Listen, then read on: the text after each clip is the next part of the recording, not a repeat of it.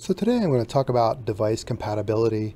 Let's say I make my little game, I have a button here and maybe that brings up a shop or something and I need it. And I have these little pellets here and they update my leaderboard with points. I go to play. And I can press my button and that makes the frame go away. And I can pick up my, my pellets and I'm getting points. Cool. Life is good. I publish my game. All of a sudden I start getting thumbs downs and I don't know why. So then I discover when I play it on my phone, press that, iPhone 7, where did my buttons go? Where did my UI go? When I play it, I don't even see my leaderboard. Unfortunately for the leaderboard, there is no leaderboard on some devices, and the iPhone is one of them. So you have to make your own UI. That's too bad. Um, we can go to, let's go ahead and turn this off. Let's look at a couple of these settings. You have three choices here. You have physical size, you have actual resolution. I usually use fit to window. That's usually good enough for me. Things will start failing pretty quick when you start trying different devices. Let's see, there's Xbox One. Oh, it's way up here. That's no good. Xbox One does have a leaderboard though. It just doesn't look that good.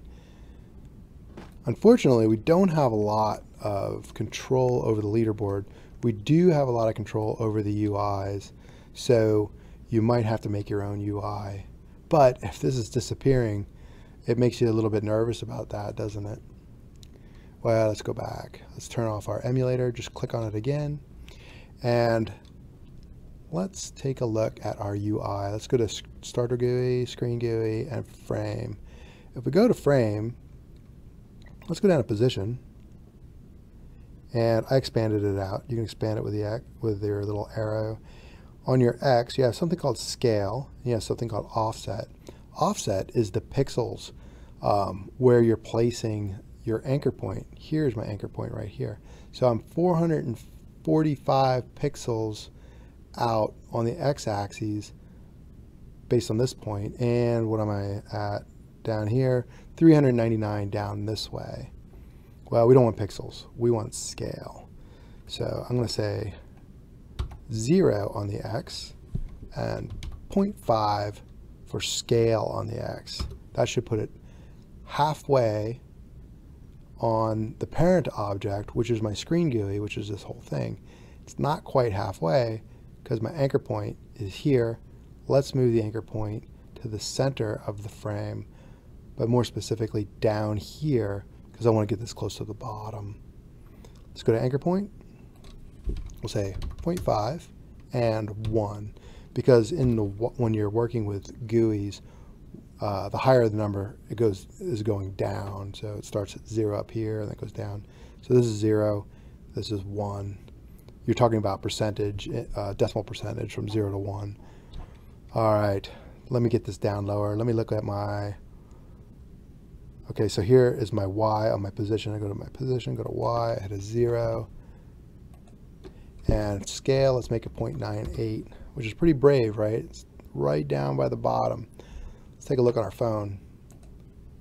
That's Xbox One. That's looking good. Xbox One's not looking bad. Phone, it's not bad, but it's too big. Let's change that. Let's look at our size. Size is the same thing. I'm giving it absolute pixels let's make it percentage of the screen. So 0.3 is 30% of the screen, of the parent object, which happens to be the screen in this case. Zero offset, and let's make a 0.2. Oh, now my button's messed up. Let's take a look at that. Let's go to button, and here's my anchor point on my button. I'm going to put that anchor point right dead center. Let's go to anchor point, 0.5 and 0.5. And my scale, let's make that 0.5. So it didn't have any pixel offsets here, so that's good. 0.5. That's better. All right, and one thing you have to worry about with button, text. If the text is too close to the edges and you get a smaller um, screen, you want to make sure that your text, did I lose it? Oh, here's my text, is text scaled. So it's big here, but at least it'll shrink down when you're on uh, different devices. If you use a font size, that's going to give you absolute pixels. So you could run into trouble with that. Now let's look at our phone. Oh, it's so much better. Ooh, look at that. Let's look at our button size. We did position, but did we do button size? I think we missed it. Let's go to size. No, we missed it. So offset is 200, 0, and I'll say 0.6. 60% of the frame the parent, uh, parent object. And offset and scale, make that 60% of the frame. There we go. Now let's check our phone. Sweet. All right, we'll go to play.